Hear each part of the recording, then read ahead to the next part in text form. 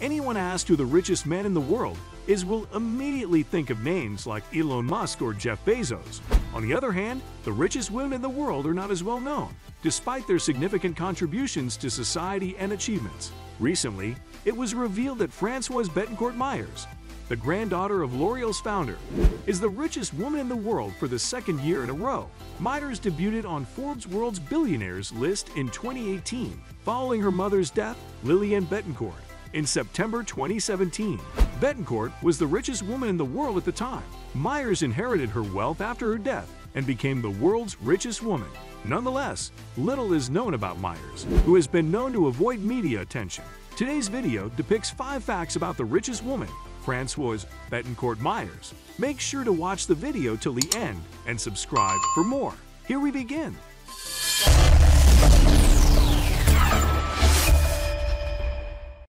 Number 5. Real estate and car collection. She inherited assets worth tens of billions of dollars, including a Parisian mansion in the suburbs of Paris. The property is in Neuilly-sur-Seine, a posh neighborhood west of Paris. Francoise inherited the lavish Parisian mansion of her mother, Lillian. In France, Neuilly-sur-Seine is known as a power suburb, a location not only of wealth, but also of influence. Second, Bettencourt spends her vacations at Arcouest Headland in Brittany, western France. Bettencourt grew up in the mansion Brittany Colonnade Villa. The Brittany estate has 25 rooms, a tennis court, and a swimming pool. Bettencourt Meyers residence in Neuilly-sur-Seine in July 2010. In fact, French police raided this residence in 2010 as part of their investigation into the Bettencourt case. Talking about her car collection, unlike her mother, who enjoyed black Mercedes, it appears she does not. She prefers to spend her money on her piano rather than on exotic cars, so no information on her vehicles is available. Number 4. Lifestyle and Vacations Francoise Bettencourt Meyers may be the world's wealthiest woman, but her path has not been easy. Bettencourt Meyers and her mother had a strained relationship. Furthermore, the Bettencourts were well known in French society for their lavish and private parties. Despite being born into a wealthy family, Bettencourt Meyers preferred playing the piano and riding to extravagant parties. Bettencourt Meyers, unsurprisingly, was not a part of her socialite parents' glamorous lifestyle. Moreover, the Meyers family and their son Jean Victor Meyers spent their vacation in the French Alps on the Megève slopes. They also pay visits to their ancestral home in Brittany, Arcouest. Lillian, her mother, loved to travel to places like Seychelles, Agadir, and Barbuda. As a result, we can assume that as their only daughter, she must have joined her mother on those trips. Also, Meyers preferred to avoid the spotlight, despite coming from a family that threw lavish parties and attended glamorous events. Meanwhile, she enjoyed playing the piano and reading, both of which she had done since she was a child. Number 3. Investments, Endorsements, and Career Bettencourt Meyers has also contributed to her family's charitable foundation, which promotes scientific and artistic development in France. Furthermore, the organization annually awards cash grants to promising young scientists. Besides this, it has a budget of 250 million euros per year, with 55% going to research and educational programs, 33% going to humanities and social sciences, and 12% going to culture and the arts. The foundation's assets are currently worth nearly $700 million. Yet, surprisingly, the chairwoman of L'Oreal does not require any endorsements because she is the world's largest cosmetic company owner. Talking about her career, Bettencourt Meyers, unlike most billionaire heiresses, has focused her efforts on her work as an author and member of L'Oreal's board of directors. She was raised as a strict Catholic and has written several Bible commentaries. She married Jean-Pierre Meyers, the grandson of an Auschwitz rabbi, and raised their children Jean Victor and Nicholas as Jews. Her marriage sparked debate because her grandfather, Eugene Schueller, was on trial for collaborating with the Nazi government. Bettencourt Meyers and her family retain a 33% stake in the company. Jean-Pierre Meyers, her husband, is the CEO of Tethys SAS, a French spirits producer. He also serves on the boards of Nestle and L'Oreal. Nestle, with a 23.29% stake, is the company's second largest shareholder. The couple also has two grown children, Jean Victor and Nicholas. Jean Victor joined the L'Oreal board of directors in 2012 alongside Bettencourt Meyers. Aside from that, she has established herself far too well to need to bother with anything. Number 2.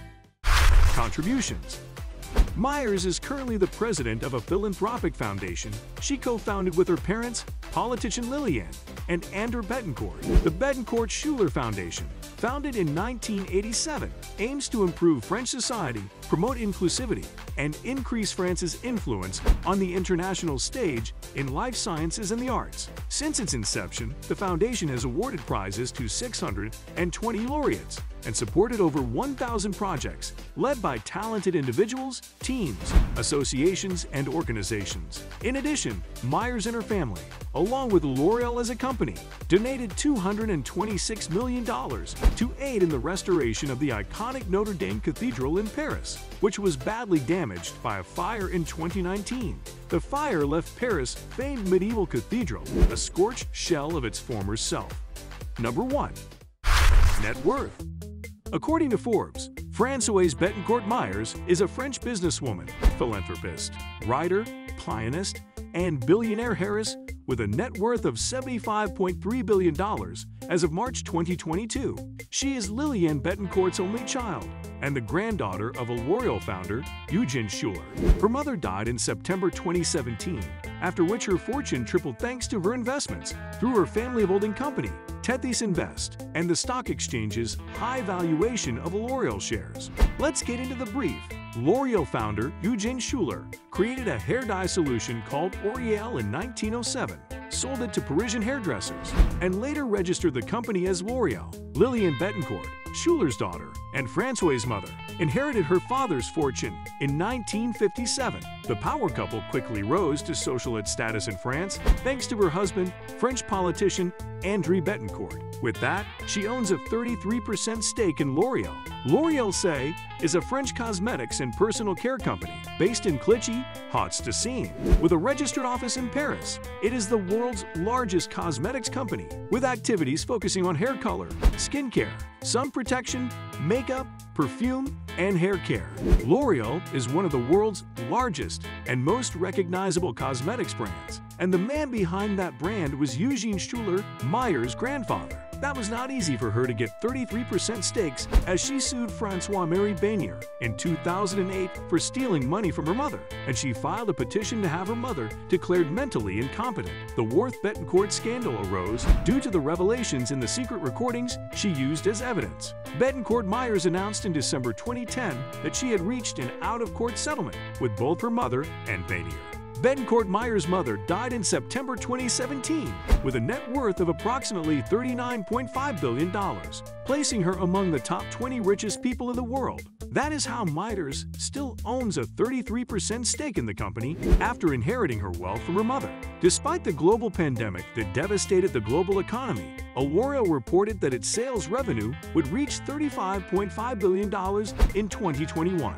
Despite owning stakes in L'Oreal, she also makes money from her writings. Meyer, who was born and raised a Catholic, used her faith to explore the literary world, writing and publishing several biblical commentaries that looked at words and expressions in the Bible, as well as the family trees and tribes that were present. She also wrote a book about the Greek gods and Jewish-Christian relations, focusing on their ancestors. Meyers is the author of several books, including The Greek Gods and A Look at the Bible. What do you think of the richest woman, Françoise Bettencourt Meyers, and her journey? Did these facts about the richest women surprise you? Let us know in the comments below and subscribe for more. See you soon.